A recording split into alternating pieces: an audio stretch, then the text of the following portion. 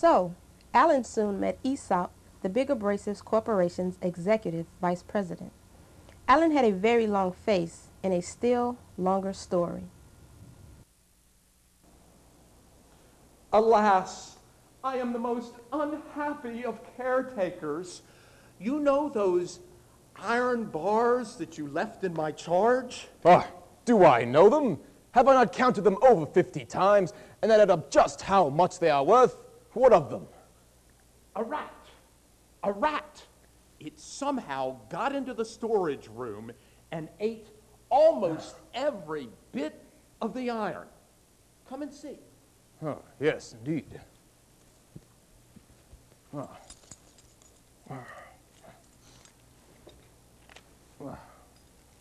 Ah, I see nothing. Come closer. Ah, yes. Uh, Oh, oh, oh, oh, oh my. Oh, oh, infernal rat. Oh, oh my. Oh, oh, oh, oh, this is indeed sad for both of us. But I do know how dearly those rats love iron.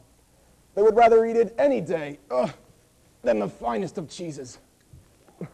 Oh, oh, oh, jump into Huzafet. What is the meaning of this? Ah, oh, iron. oh. Indeed, Alan, this is nothing new. In past years, we have lost hundreds of tons of iron to determined rats. Well, think of the matter no more, my friend. It is not your fault in any way. It is all the fault of those hungry, iron-loving rats.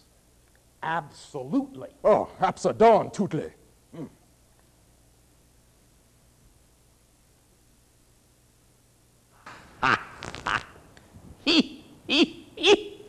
Ho, ho, ho. You know what? There were no iron eating rats. No. Yes. No. Yes. No. Yeah. Enough of that. I have hidden the iron, and I will soon use it in my own new business's small cutting wheels operation. No one will be the wiser.